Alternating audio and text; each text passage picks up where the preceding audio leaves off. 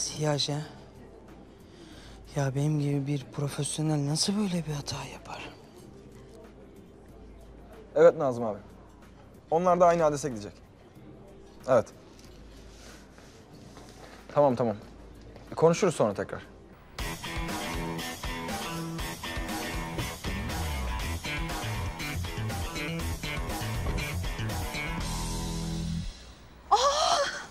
Yine karşıma çıktın.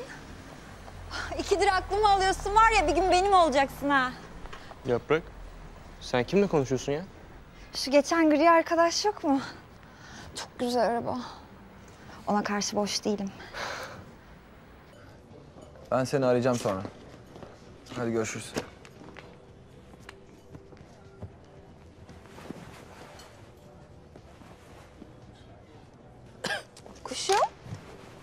Hadi bize birer latte söyle. Ya niye hep ben söylüyorum latteyi ya? Neyse tamam söyle. Ve Sinan'ın hata yine kendi kalesine attığı golle son buldu. Kesin. Ne oluyor ya? Ben bir şey mi kaçırdım?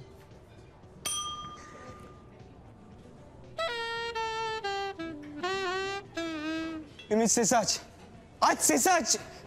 Ali, Barış, Yaprak koşun abi koşun. Ünlülerin Oğlum, olarak yapan Ne oluyor be? Çeşme Asayiş Şube Müdürlüğü. Ya bu bizim gittiğimiz falcı. Gökhan'la gittiğimiz falcı. Adamı götürüyorlar ya. Adamı koymuşlar, getiriyorlar, tutuklamışlar. İsminin bile sahte olduğu ortaya çıktı.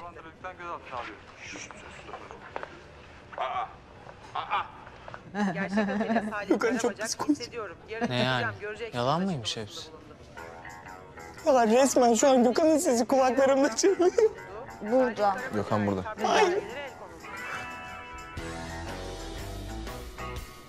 Yarına çıkacağımı hissediyorum.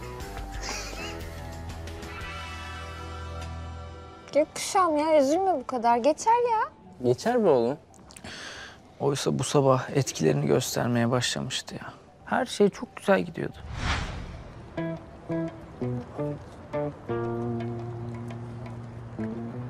Zeytinli açman var mı abi ya? Son kaldı abisi. Son mu kaldı? Sağ ol. Afiyet olsun. Zeytinli açman var mı? Taze bitti be birader. Simitçi, gevrek simit, simitçi. Nasıl yani? Aşma yüzünden şansın dönebileceğine inandın mı gerçekten? Evet oğlum ya. Normalde o taze bitti cevabını alan adam benim. Ya bu sabah sehpanın köşesi dizime kafa atmadı. Portakal suyunun sonu bana kalmadı.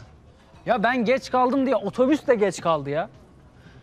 Bugün dershanenin son dersi iptal oldu. Hey gidi. Düşünsenize. Peki bir şey soracağım. Sen bunların hepsinin bir tesadüf olabilme ihtimalini hiç düşündün mü acaba? Ne?